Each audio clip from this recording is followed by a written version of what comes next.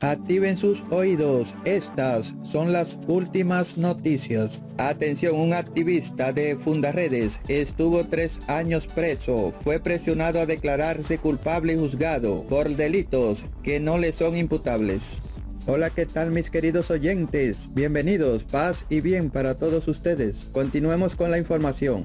Alexis Bernardo Bustamante Molano insiste en apelar su caso procurando la tramitación de los diferentes recursos dispuestos por la ley para lograr la revisión y rectificación correspondiente.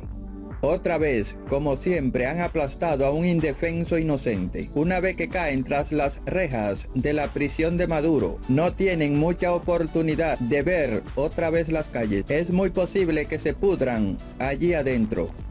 Escuchen bien, Alexis Bernardo Bustamante Molano es primer teniente GNB y fue funcionario de la DGCIM hasta que se retiró de la Fuerza Armada Bolivariana y se hizo activista de la organización Fundaredes en el estado Zulia. Pero su pesadilla empezó en el Táchira hace casi tres años, un 17 de mayo de 2019 cuando conversaba con el capitán Useche, un oficial del ejército adscrito a la Dirección General de Contrainteligencia Militar DGCIM quien ordenó su detención sin previa orden de juez alguno. Estuvo secuestrado, desaparecido durante 13 días, forzosamente. Su familia estaba más que preocupada y no sabían su paradero. Le negaron comunicarse con su abogado privado. Escuchen bien, cuando por fin pudo hablar con sus seres queridos, les contó que en ese tiempo fue golpeado y humillado de todas maneras posibles. Nueve días después de haber sido detenido lo presentan con un defensor público